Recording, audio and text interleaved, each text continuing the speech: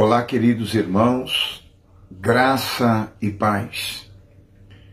Neste momento, com muita tristeza, com muita dor no coração, eu venho aqui nas minhas redes sociais para comunicar que neste dia de hoje, 22 de novembro, veio a óbito o meu filho mais velho, primogênito, o Felipe Oliveira de Miranda Sora.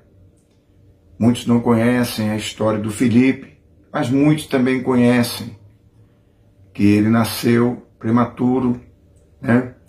E ele era uma criança, já agora um homem, mais especial, 33 anos de idade, e infelizmente chegou o tempo em que Deus, né, o recolheu.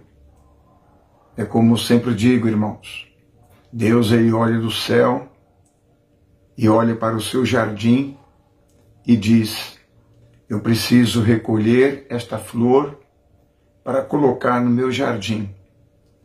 E quando chega o momento e a vontade do Senhor, nós não podemos impedir porque Deus é o dono da vida, Deus é o dono da nossa vida. Então quero aqui comunicar, irmãos, que o Felipe ele descansa já nos braços do Senhor Jesus Cristo. O sepultamento será às 12 horas desta terça-feira. Peço aos irmãos que orem. Eu não estou atendendo os telefones.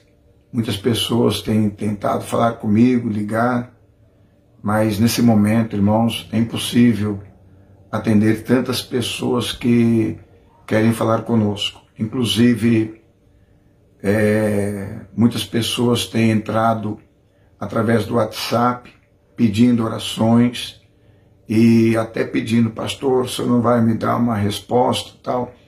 Quero pedir aos irmãos compreensão neste momento, tá? Eu vou atender vocês a partir já daqui uns dois, três dias, tá certo, irmãos? E orem por nós, tá? Orem pela mãe também do Felipe, a Leia, para Deus consolar o coração dela. E orem pelo Paulo e a Sara, que também são meus filhos. Deus abençoe vocês, tá?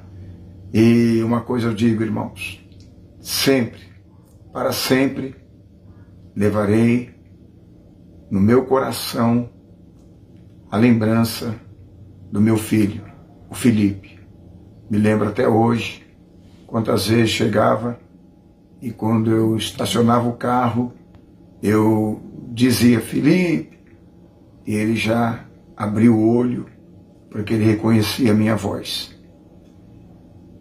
para sempre Ele estará no meu coração. Deus abençoe vocês, irmãos. Muito obrigado aos meus irmãos, meus amigos, pela compreensão e pelas orações de vocês. Forte abraço, a paz do Senhor.